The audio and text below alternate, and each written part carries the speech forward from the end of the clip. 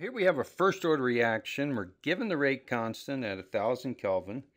And the question is, how long will it take for this initial concentration of 0.35 moles per liter to fall to 0.1 mole per liter since it's the same container.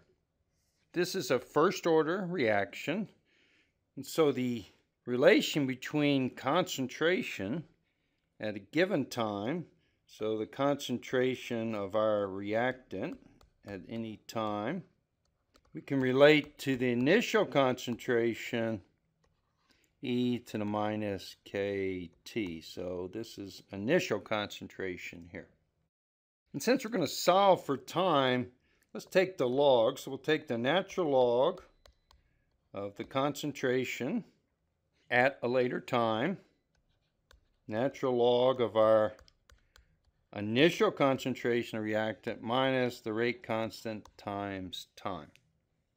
So the concentration at the later time, 0.10 molar. The initial concentration, 0.35 molar. And the rate constant, 5.5. Need to take the log. So normally we look at this and say we can't take the log of dimensionless numbers that are not dimensionless, but we could rearrange this it's a log of 0.10 molar over 0.35 molar because when I subtract logs, that's the same as the log of the ratio. Now, the units cancel fine. So time I'm going to solve for is in seconds. So I solve for seconds. Of course, the problem says it wants the time in minutes. So 60 seconds for one minute.